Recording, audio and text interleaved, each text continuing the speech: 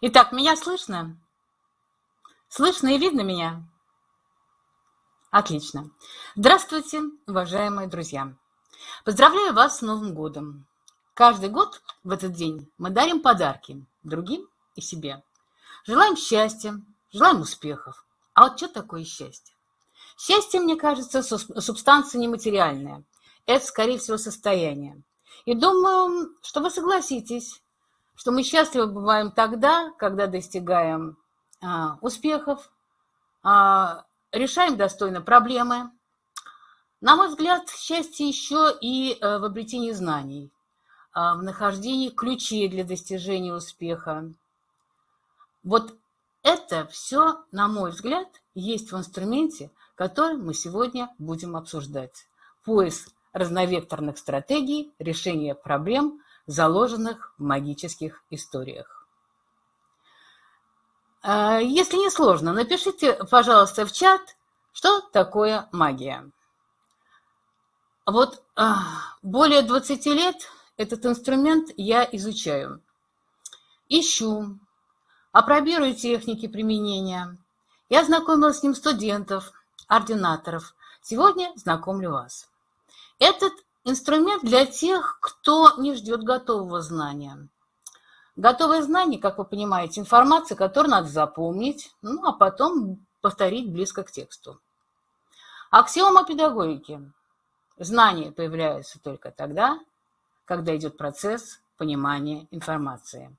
То есть, пропуская через себя информацию, мы выходим на знание. Итак, цель сегодняшней встречи предоставить вам информацию о поиске стратегии решения проблем с помощью сторителлинга. Сторителлинг определяют как искусство рассказывать истории, но не только. Прошу вас быть активными, пишите в чат свои комментарии и предлагайте свои подходы. Сегодня будет много практики, и вы можете попробовать себя в роли мага. Магия это... А что ж такое магия? А мы тут видим, что магия – это когда ничего не работает, а потом программист нажимает «Отлично! Замечательно!» а Магия вверх отлично, замечательно, великолепно. Итак, мы с вами уже, наверное, часто используем этот инструмент магии. И э, я сейчас хотела бы обратиться к вам а, вот с каким тезисом. Магия – это трансформация. Магия – это, это перевоплощение. Магия – это то, что делают актеры. Вот э, недавно я читала книгу актрисы, княгини Монако Грейс Келли, и она написала великолепно. А, она написала, что Магия перевоплощения – это мастерство стать тем, кого анализируешь, но оставаясь самим собой. Вот эта способность анализировать, оставаясь самим собой, нам сегодня потребуется. Итак,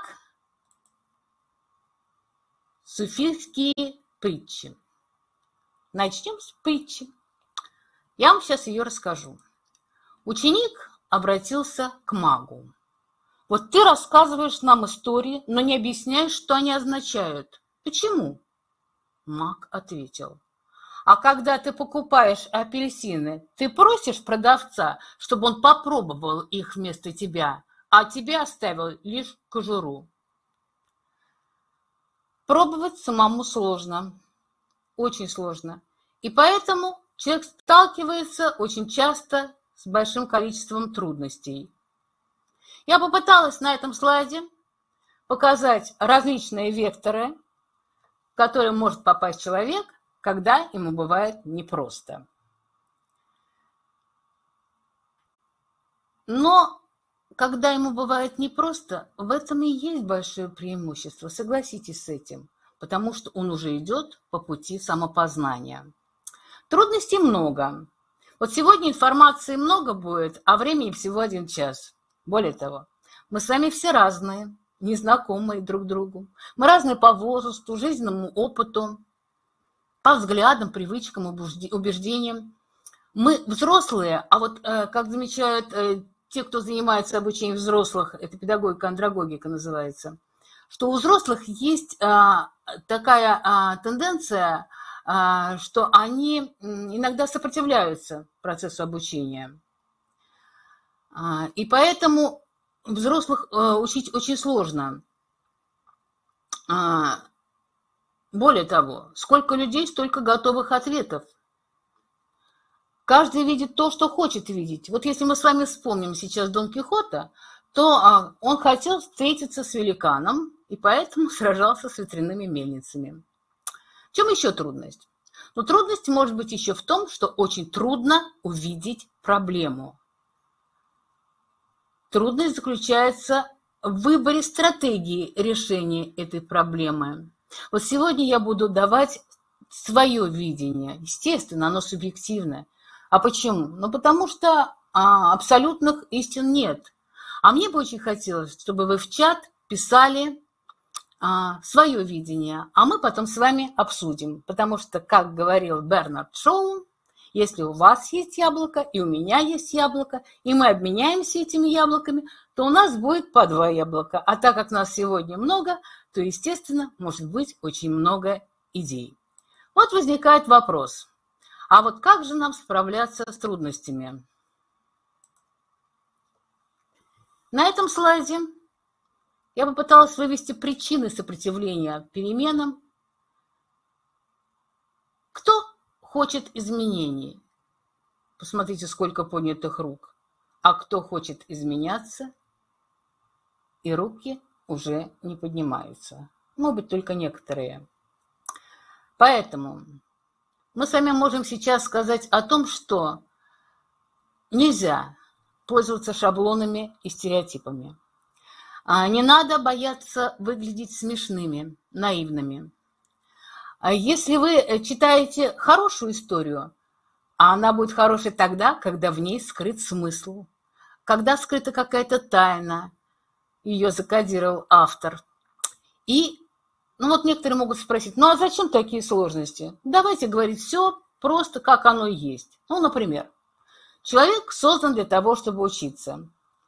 Многие наши школьники с этим, может быть, и согласятся, но быстро забудут. Дело в том, что учиться не все любят. А, или даже, вернее, не любят, я неправильно выразилась. Учиться не все умеют. А, и поэтому а, первое, с чего надо научить, а, начать, это научить учиться. И этому мы сегодня с вами будем тоже посвящать довольно-таки много времени. Но мы будем учиться, рассматривая истории. Истории, которые цепляют. Они цепляют а, завуалированным каким-то смыслом. И вот когда мы начинаем а, разбираться с этими а, различными а, закрытыми для нас с первого взгляда темами, то мы э, приходим к какому-то пониманию, к какому-то озарению, а иногда хочется крикнуть «Эврика». То есть тогда мы начинаем с вами уже распаковывать историю.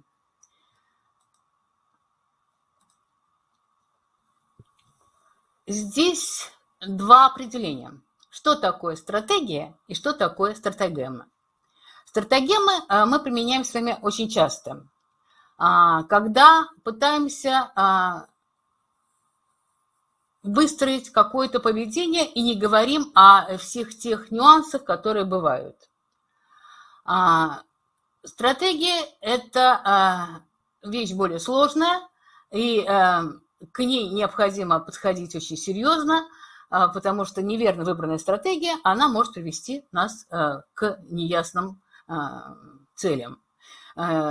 Здесь некоторая фраза из «Алисы в стране чудес», и э, прочитав ее, мы с вами можем сразу понять, что для того, чтобы идти к цели, необходимо ее четко для себя сформулировать. А потом уже заниматься и стратегией, и стратегемами и так далее. Думаю, что вы в этом согласны. Ну, э, начнем с практики. Перед вами картинка. На ней два плуга. Но для того, чтобы э, поговорить об этом, я вам дам чуть-чуть времени. Попробуйте э, подумать и э, сами э, написать какой-либо текст.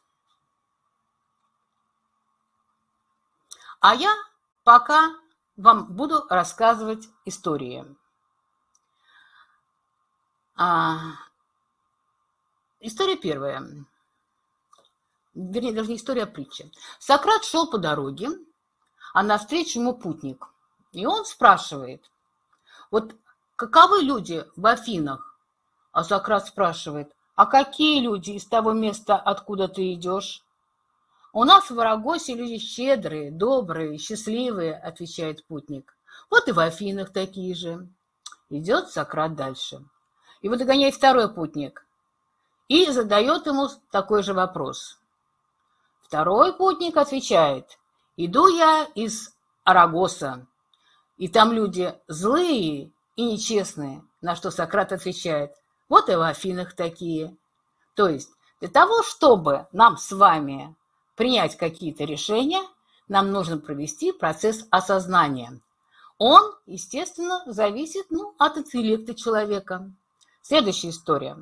Когда Эйнштейна спросили, в чем различие его интеллекта и интеллекта других людей, он ответил так. Если люди ищут иголку в стоге сена, то большинство останавливаются, когда найдут ее. А вот я ищу вторую, третью, а если повезет, четвертую, пятую.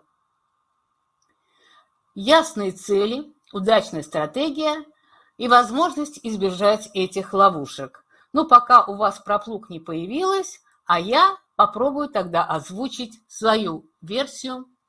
А, но, или подожду чуть-чуть, давайте еще немножко подожду. Может, вы напишите, о чем эта история, или попробуйте а, написать хотя бы а, основную идею этой истории. В чем различие? А я пока расскажу еще одну историю. Мышатам всего несколько дней от роду. Они пищат, бегают, и вдруг их накрыла огромная черная тень. Они повернули свои крохотные головки, а там огромный черный кот. Если бы кот умел говорить, он бы, наверное, сказал «Время обедать». Но тут быстро, как молния, мать-мышка встала между детишками, а потом громко закричала «Брысь, брысь, брысь!». Кот повернулся и, опустив хвост пошел в освояси. Вот на мой взгляд, здесь, в этой истории, две стратегии. Стратегия оптимиста и стратегия пессимиста. Мать-оптимист, она бы, наверное, сказала мышатам. Дети, учите языки. Великолепная стратегия. Говорить так, чтобы враг вас понимал. А вот мать пессимиста, наверное, бы не успела. Так, у нас в чате появились замечательные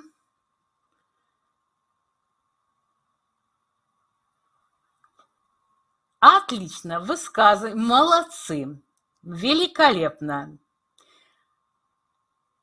Хорошо. Из старого плуга можно сделать тот, на котором можно работать.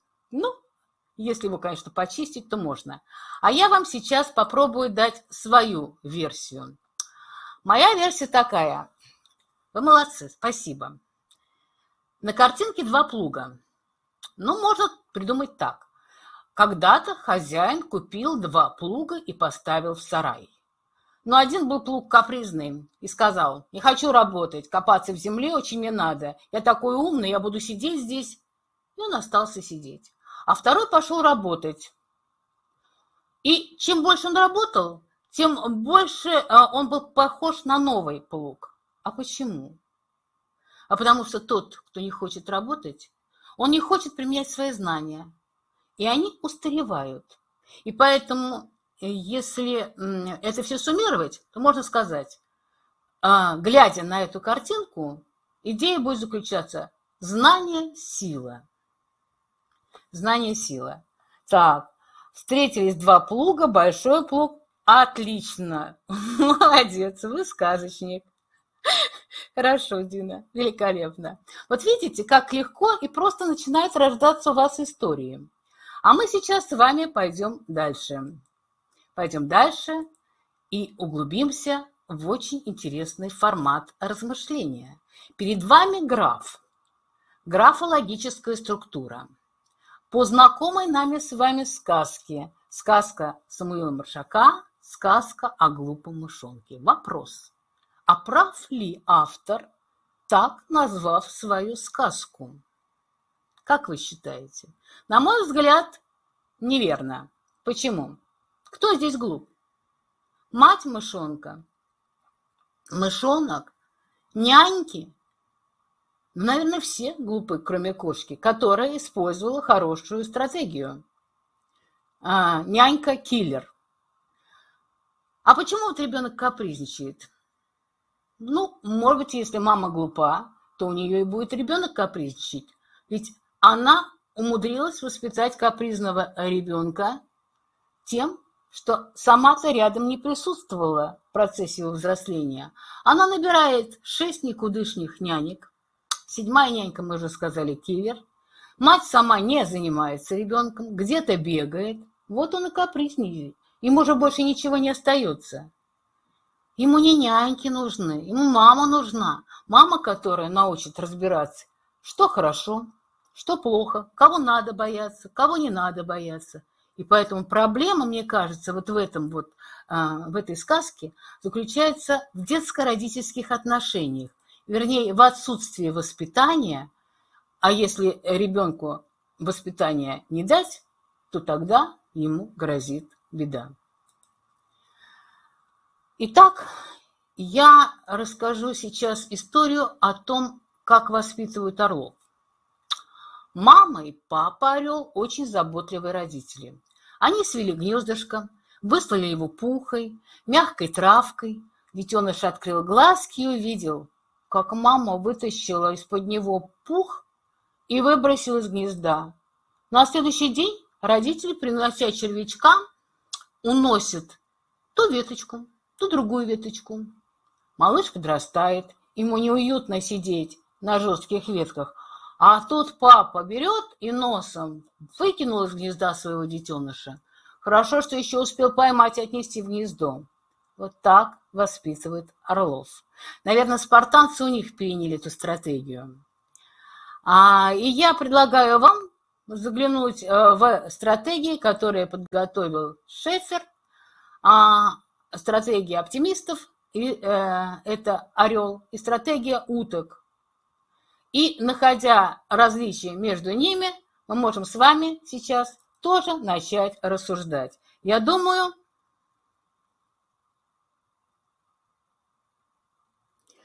совершенно верно, Зоя, я согласна с вами, что мать не может справиться с ребенком и поэтому отдает его кому попало. Но они же тоже не справятся с этим ребенком, согласитесь. Значит, надо продумать стратегию, кому отдать ребенка, если он капризничает. И почему он капризничает. Самая главная проблема – это почему ребенок капризничает. Может быть, он плачет, потому что ему страшно, а может быть, он плачет, потому что ему больно. Вот когда мы разберемся с этой проблемой, тогда уже надо будет применять меры. Согласны? Итак, а мы идем с вами дальше. А, я не буду анализировать это, а, этот слайд, я так думаю, вы к нему потом вернетесь и на него посмотрите. Главное сейчас для нас с вами практика. И когда мы говорим о практике, то, естественно, нельзя на вебинаре просить вас выполнить такую сложную задачу, как написать логлайн к сказке, например, «Колобок». А, я здесь подобрала вам определение логлайна, я подобрала вам вопросы, которые, на которые надо ответить. Самое главное, что когда вы будете выполнять эту практику, что надо будет э, выйти на одну фразу, на одно предложение, может быть, на одну строчку. И в качестве примеров я тоже даю вам а, из э, «День сурка» и «Побег из Шоушенка» а, примеры логлайнов. А мы с вами сейчас перейдем а, непосредственно а, к анатомии стратегии. А, мои логлайны к сказке «Колобок». То есть мы еще с вами не рассматривали эту сказку, мы только с вами а, сейчас будем погружаться а, в поиск а, проблемы, проблемы, а, а потом к поиску стратегии. Итак, а, как рожденный без любви становится нарциссом? Не ешьте меня, я сам себя отдам на обед, как любовь к самому себе сокращает жизнь, когда добро к себе оборачивается злом. Кто убегает, того догоняет. То есть этот список можно продолжать и продолжать, продолжать. Мы начинаем включать свой мозг для того, чтобы начать думать. Итак, начинаем. У каждого героя в колобке своя стратегия. Это только на первый взгляд история о хлебобулочном изделии, которое хотят все съесть. А может, дело в другом? Старуха и старик, они люди-то пожилые. Вот они родили себе сыночка, который будет за ним ухаживать в старости. Они этого хотели, но дети, как это бывает, имеют другие желания.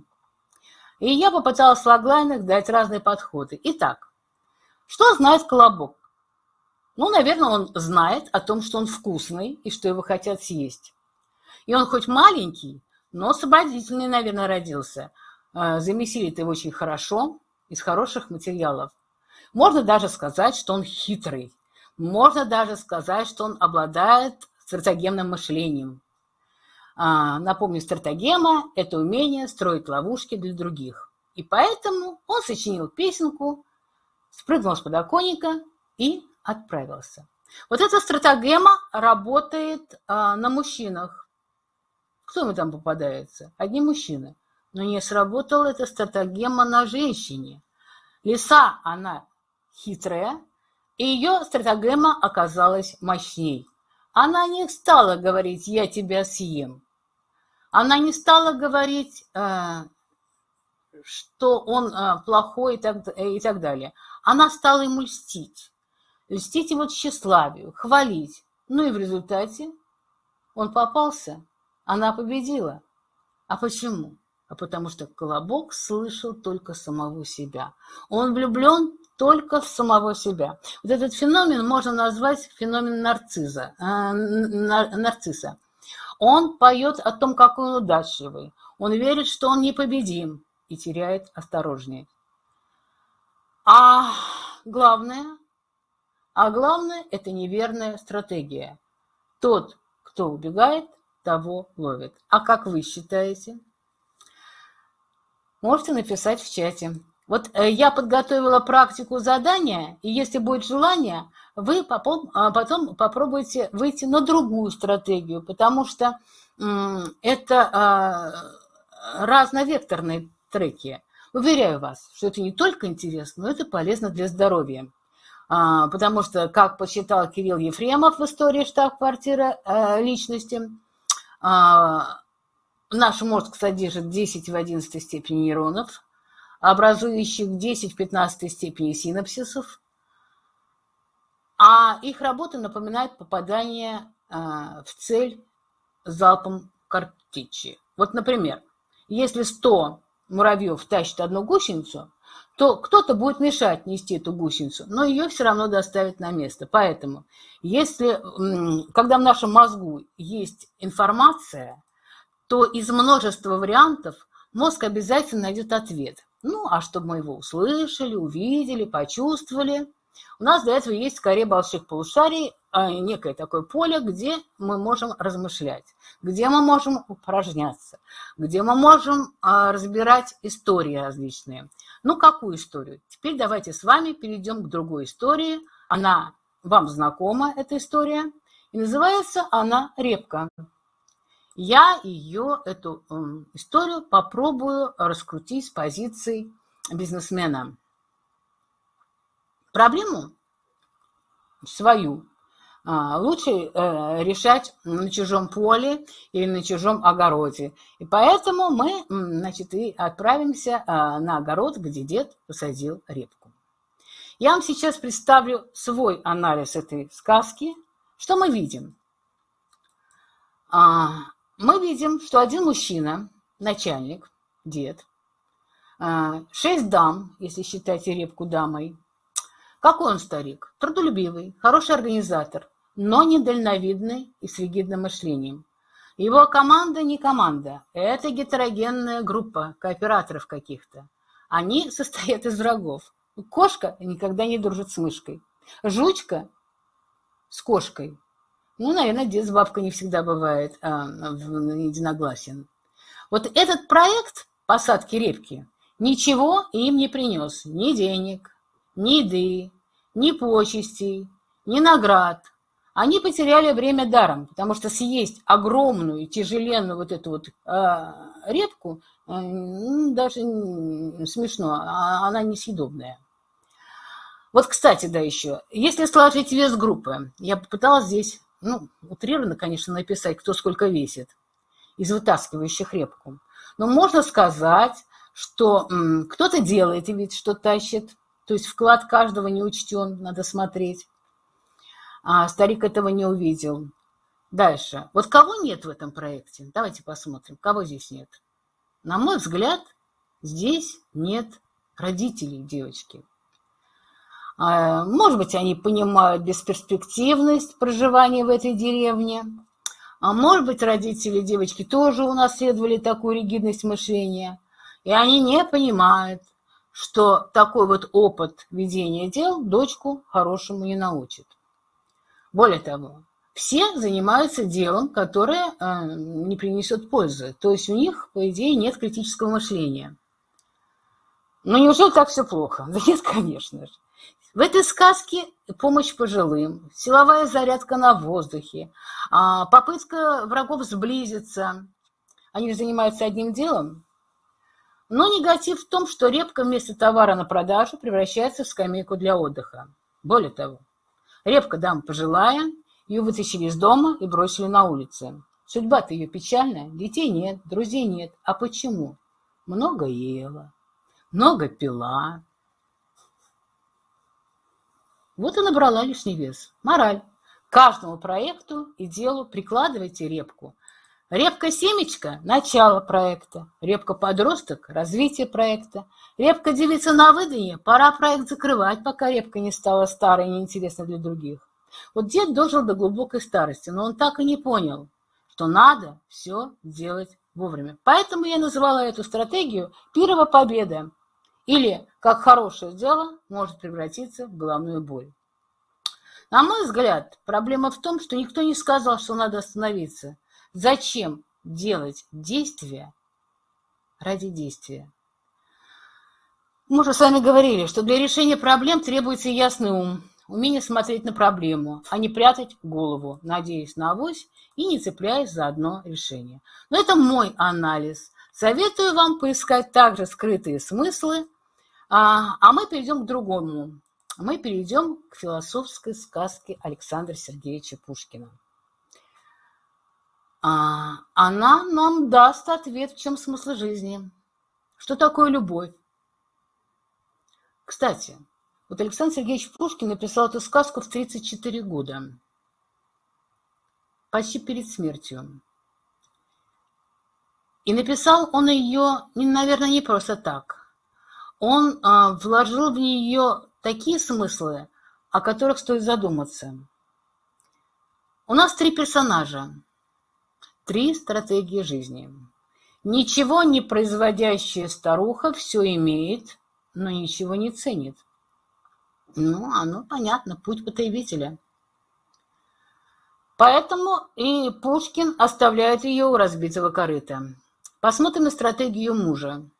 Если мы будем читать сказку, то часто там есть такие фразы «покоя хочу, хочу покоя». Он хочет покоя, и он любит свою старую, злую, некрасивую, жестокую жену. Любит или делает над собой усилия и не обращает на нее внимания, чтобы остаться в покое. Это тоже вопрос. Рыбка – творец. Она бы, он мог бы обратиться к рыбке, например, и сказать, что хочу красивую, молодую, здоровую, хочу много, и так, но он хочет это все для своей жены. Поэтому можем все-таки сказать, что он ее любит. Ведь 33 года прожили. Кстати, 33 года – это очень такая цифра интересная. Рыбка-творец. Она трудится для других, но не для себя. Но вот мне вопрос. Почему рыбка, которая может построить дворец, может сделать ее царицей, не смогла взять и выпутаться из той сети, в которую она попала? А может быть, великий Пушкин нам специально отправил к пожилым, к бедным рыбку, чтобы они задумались о своих желаниях, захотели измениться. Ну, а как вы считаете? Вот здесь тоже можно разные версии предлагать, э, применять и э, анализировать уже с других подходов.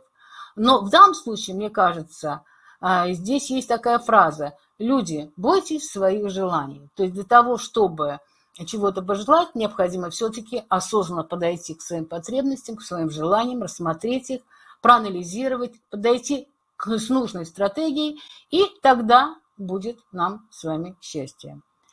А мы переходим с вами сейчас а, к следующему, к следующей стратегии, а, к ключ к стратегии преодоления страха.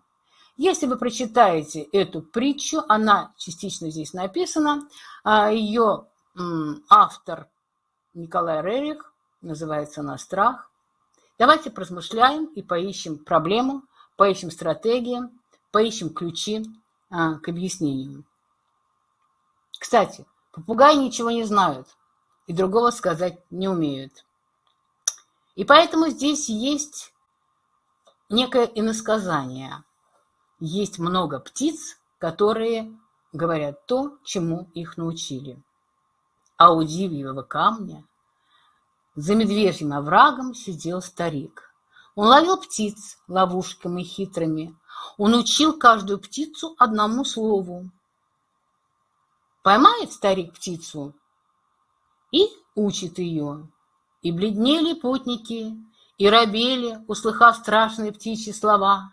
А старик улыбался. И шел старик лесом, ходил к реке и слушал птиц, и не боялся. Только один он и знал, что они ничего другого не знают и сказать не умеют. Вот такой интересный в данном случае нарратив. Здесь очень интересных много различных посылов. Но если мы с вами попробуем поработать со страхами, то тогда и выйдем на некоторые другие вещи. Итак, старуха 33 года жила с нищим стариком, значит, она его тоже любила. Ну а куда ей деваться-то? В старости смерть близко, и она захотела пожить как человек. Ну, естественно, но какой человек? Человек-то какой? Человек, который неблагодарный, человек, который не ценит ничего, человек, который э, желает то одно, то другое, то третье, человек, который всему недоволен. Вы абсолютно правильно здесь делаете а, акцент, можно с этой стороны посмотреть. Старик-неудачник. Ну почему? Старик дожил до, до преклонного возраста со старухой, значит, они уже удачники. Удача им сопутствовала, они остались э, живы. Они живут у моря, они любуются восходами, закатами. А, у них э, есть дом, пусть плохой, но есть дом. Но а, у них есть главная ошибка в жизни. Они остались одинокими. Они остались абсолютно затуманенными какими-то целями. Вот мне бы хотелось, э, наверное, здесь продолжить, э, Дина, большое спасибо за этот комментарий, вашу фразу тем, что, а может быть, Александр Сергеевич Пушкин сказал, ребята, а вы изменитесь, а перестаньте вы вести ту жизнь, которую вы вели выберите ту стратегию, которая приведет к вас к успеху. Ну, нельзя столько времени оставаться вот в таком состоянии, в котором они были. Но это можно тоже еще поговорить об этом, а, но сегодня, к сожалению, нет времени. Спасибо большое, Дина. Итак, мы с вами сейчас переходим к старителлингу как искусству, как к новой технологии подачи информации. Знаете, какие слова-то замечательные. Искусство, новая технология подачи информации – а профессия столитейла, на мой взгляд, наиболее сейчас востребована, и не только, на мой взгляд, но и специалисты об этом пишут, особенно в цифровом сторителлинге. Цифровой сторителлинг, как вы знаете, это метод электронной коммуникации. Это а, организация мультимедийного контента вокруг какой-то одной истории. То есть, а, можно даже сказать, что цифровой сторителлинг – это современная а, маркетинговая технология для продвижения продаж в интернете. И появляется новый формат рассказывания историй. Он называется лангрид. Это Лангрид – это большой по объему материал, он развивается на части с помощью мультимедийных элементов. Фотографии, видео, инфографика и так далее. Но ведь главное – это история. Историю, которую нужно уметь написать, уметь подать. Это сродни даже литературному произведению. Искусство рассказывать истории там соединяется с использованием фото, анимации, видео – огромные массивы данных объединяются в один формат. А что там главное? Главное, на мой взгляд, погружение в историю. Главное – глубокая проработка темы, а, интерактивность, оформление. То есть история не только должна отвечать на вопрос «что», «где», «когда», но и давать ответы на вопросы «зачем» и «почему». Это то, чем мы с вами сегодня занимаемся. Кстати, мнение экспертов склоняется в пользу того, что цифровой сторителлинг будет только набирать популярность а, и эм, будет э, одной из сам, одним из самых э, удачных способов предоставления э, большого массива данных. И, естественно, он будет активно монетизироваться а, большим количеством маркетологов, веб-мастеров, арбитражников и так далее. И мы с вами знаем, что ни один успешный сайт сегодня не обходится без сторителлинга и без сторителлера, э, и без э, человека, который пишет истории сторителлера. Следующий а, слайд «Дорогу осилит идущий». Вот что можно, когда мы с вами пишем истории, и что нужно? Здесь а, Две очень яркие картинки, на мой взгляд. Дорогу осеет идущий, то есть кто что-то делает. Что он делает? Он изучает различные техники. Он изучает э, теорию, и он занимается практикой. Он пишет. Он пишет искренне, эмоционально. Мы, э, если мы будем акцентировать на том, что Главное а, не распыляться на множество смыслов, а иначе тогда аудитория может потерять фокус. А, что надо уметь выбирать одну ключевую мысль а, в послании и придерживаться ее в ходе истории.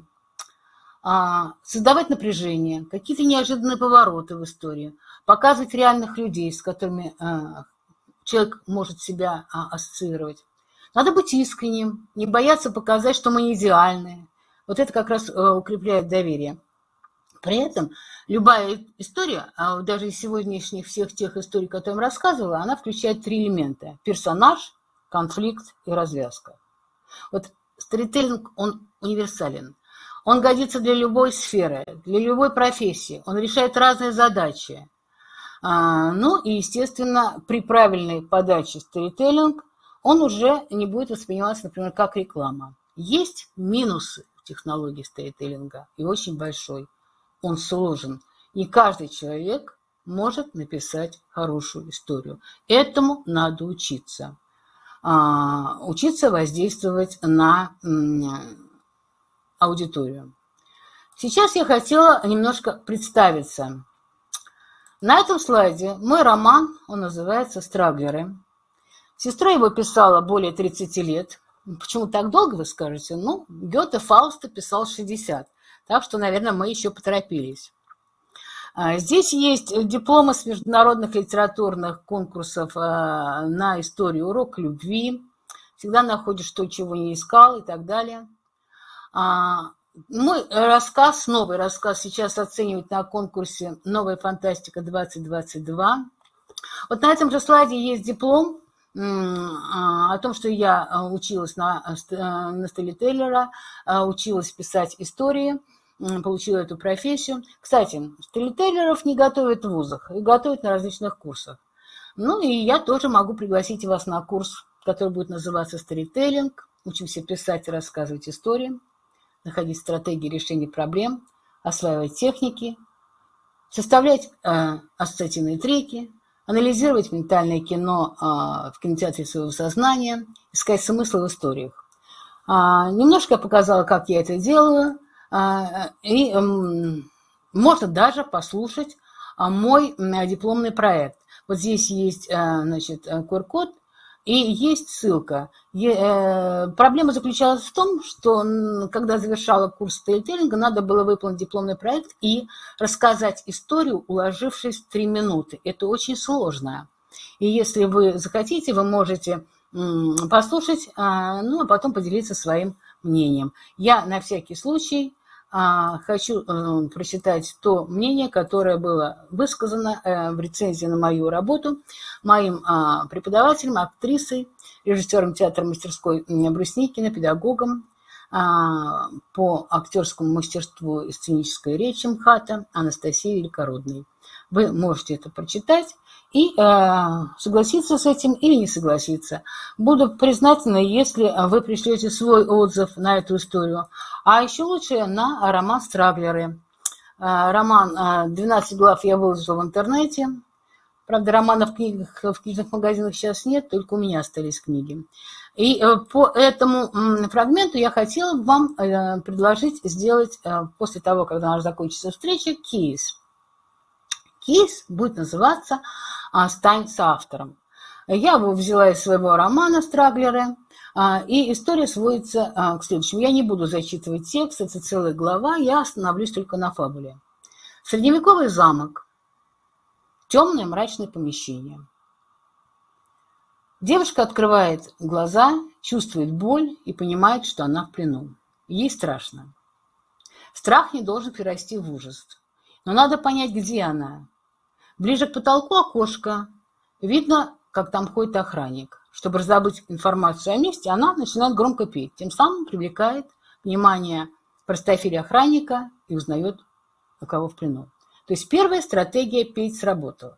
Когда дверь открывается, то она с удивлением видит бывшего управляющего, который много лет наживался на том, что а, отнимал деньги у отца слепого мальчика. Он зол на девушку, он пришел ее убить. И героиня меняет свою стратегию. Она решила воспользоваться стратегией молчать и наблюдать.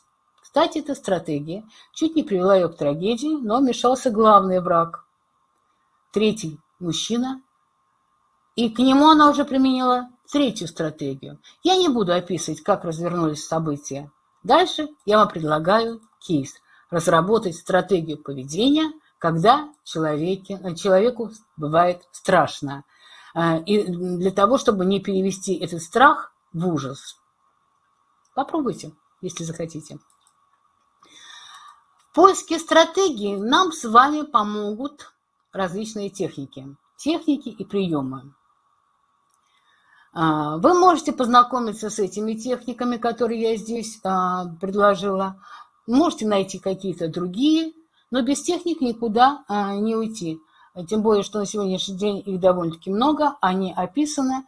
И читая историю, анализируя сказку, вы можете превратиться в коллекционера, а, в собирателя историй.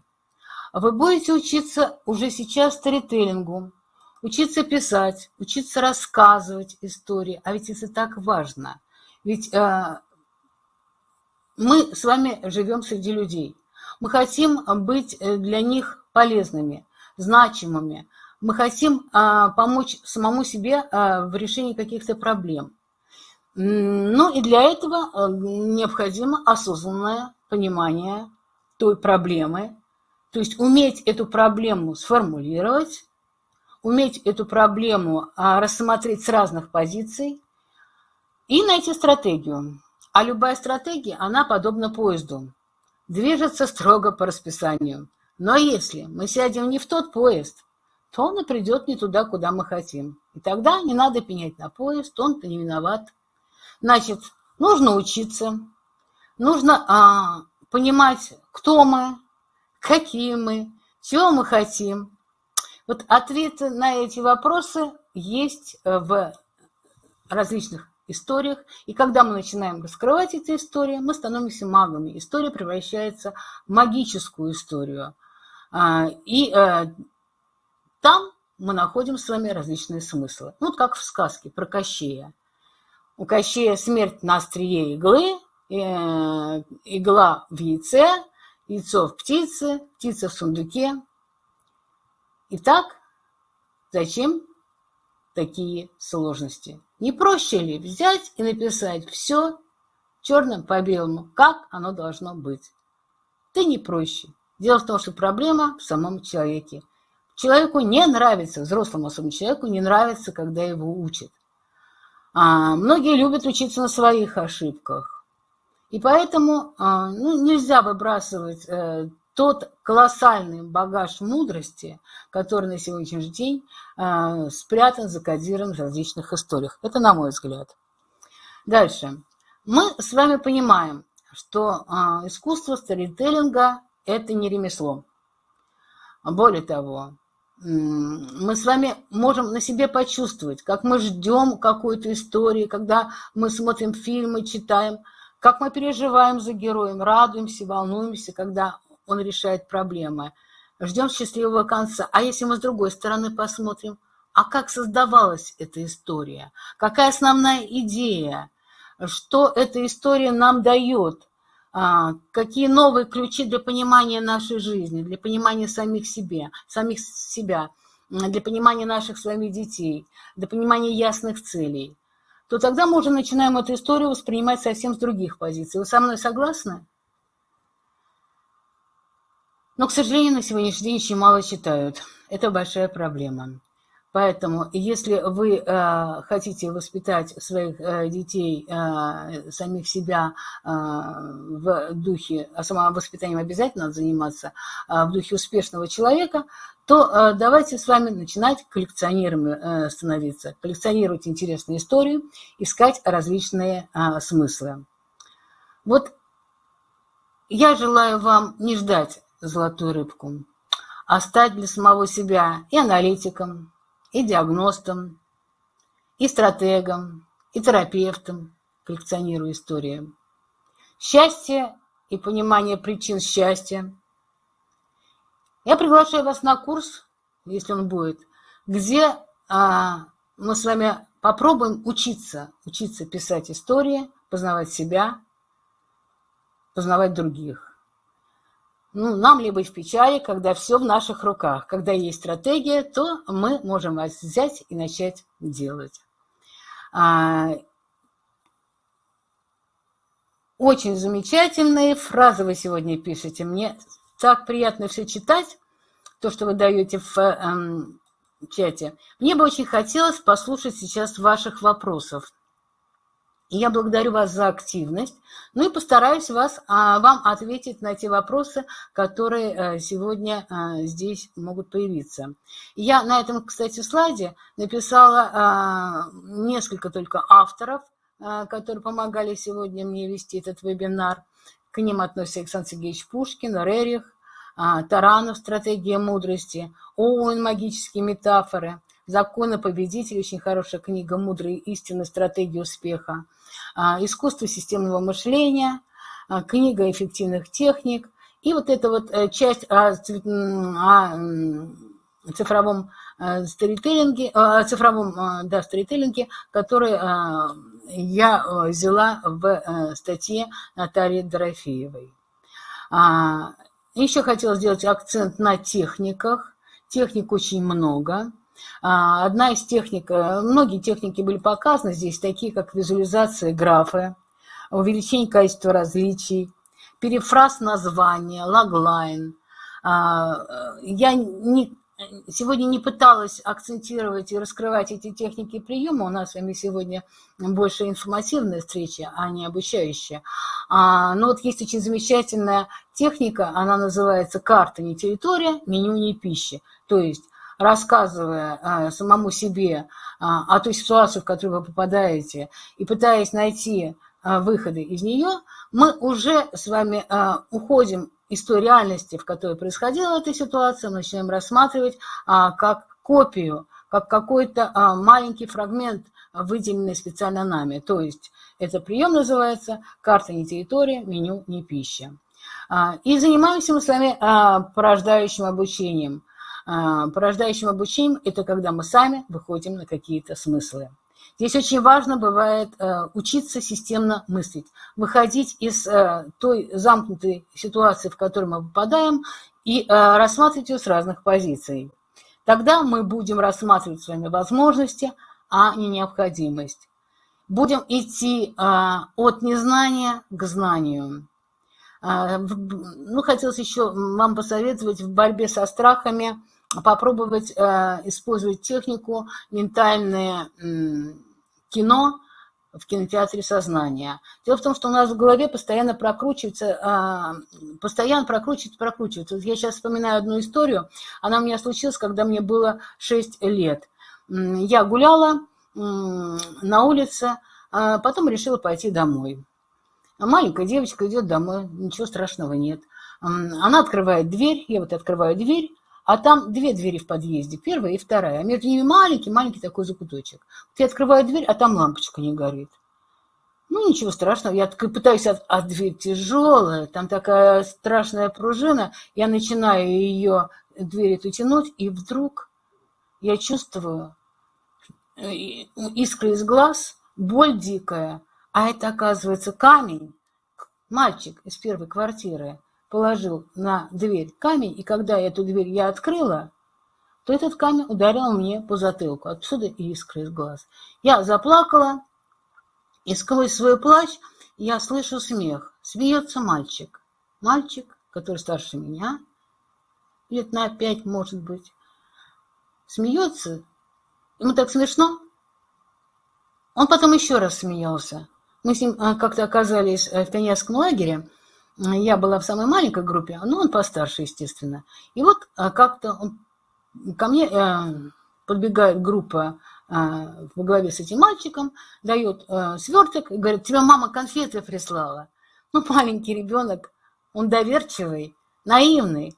Я разворачиваю этот сверток и вижу конфетку. Я ее разворачиваю, а там камушки. Как вы думаете, а в чем была проблема? Вот в этой истории есть скрытая проблема. Как ее можно назвать одним словом? Как бы вы назвали? Как бы вы назвали одним словом эту проблему? Эта проблема сейчас одна из актуальных. Так, доверие, ожидание. Так, а я бы сказала, что это буллинг буллинг. Да, глупость с моей стороны, но я маленькая. Глупость с его стороны нет. Вот это не глупость, это выбранная стратегия, стратегия поведения, стратегия, где он не будет сражаться с равными себе, он будет сражаться с маленькими, он будет самоутверждаться, он, может быть, будет получать какое-то удовольствие. Ну, мы можем по-разному рассматривать эту проблему. Совершенно верно. У мальчика проблема с самоутверждением. А он постоянно самоутверждался, и даже со своей мамой, и поэтому они очень недружно жили, как я потом уже узнала. И потом у этого мальчика были проблемы, он даже попал а, в места не столь отдаленные. А, но вот буллинг, он страшен. Он страшен тем, что человек испытывает вернее, два, две градации. Жертва и буллер – Буллер не видит страшных снов, а жертва видит. Вот почему я эту маленькую историю, когда была совсем маленькая, вспомнила во взрослом состоянии. Да потому что она постоянно, видимо, прокручивалась у меня в голове. Я постоянно ее помнила и держала. И когда я помнила ее и держала, она меня не отпускала. Что надо сделать для того, чтобы она отпустила, чтобы мы перестали быть жертвами? Да перестать прокручивать эту стратегию, перестать смотреть это кино, и тогда мы уже сами себе поможем. Да, русское слово есть, но вот психологи, они постоянно э, используют это насилие, травли, совершенно верно. И сейчас очень э, много примеров и случаев, когда э, с этим э, сталкиваются в школе, и это очень влияет на развитие человека. Вот. Э, ну и, э, естественно, с, этим, с этой проблемой надо... Мы выделили эту проблему, а дальше? А дальше, как сегодня мы с вами очень много раз говорили об этом, надо искать стратегию. Стратегию, как сделать из буллера нормального человека. Можно ли это сделать? А, или же все, на нем э, крест надо ставить. А, а может быть, посмотреть и выявить какие-то истоки, почему к этому шло – что там в семье, какая там семья, то здесь надо будет э, рассматривать это и работать. Так, хорошо. Мне очень нравится, как вы пишете. А вот вопросы, какие вы хотите задать вопросы, если у вас есть? Да, согласна, согласна, не отражает. Так, а вопросы? Есть у вас вопросы? Мы сегодня с вами пытаемся затронуть одну из сложнейших тем.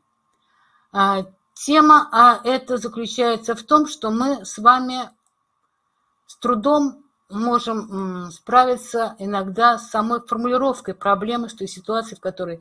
А почему? Да-да. Буллинг понимается шире.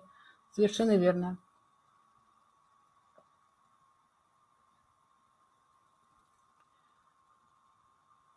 Ну, символ драмы, может быть, есть и что-то общее. Психодрамы, они рассматривают страхи. А, вот если вы Марино почитаете о психодрамах, там очень много различных ситуаций, где есть а, работа с этими. Девочка а, могла победить, если она готова, если ее воспитали как победителя. А если ее не воспитывали как победителя, она не победит, на мой взгляд. Хотя, может быть, э, разные дети бывают, разные бывают ситуации. А, кстати, есть очень хорошая книга «Закон победителей». Не поняла вопрос. А он э, э, не знает этого. Чего он не знает этого? Что он буллер? Что он э, совершает насилие? Что этого делать нельзя?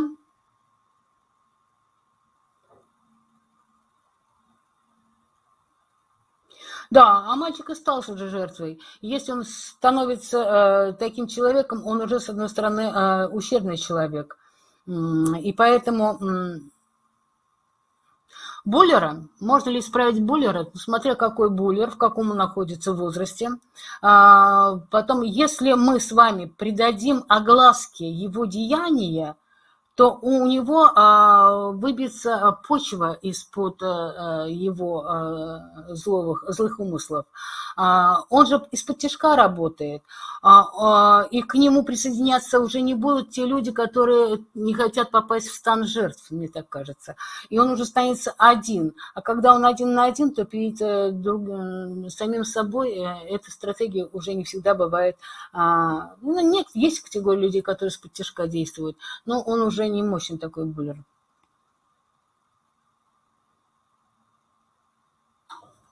Согласна с вами, Светлана, да, да. Нет, он с жертвой потом не подружился. Эта жертва пыталась с ним, я пыталась его подружиться, с ним подружиться, ну, добрая, наверное, была маленькая совсем. А, и когда он заболел, я ему дала книжку, свою любимую книжку, называется «Персидские э, сказки». Я ее так любила, и я ему дала почитать, а он мне ее не вернул. Я долго искала, и уже лет, наверное, через 30-40 я нашла эту книгу в книгистическом отделе, купила и с удовольствием читаю. Так, есть у вас еще вопросы?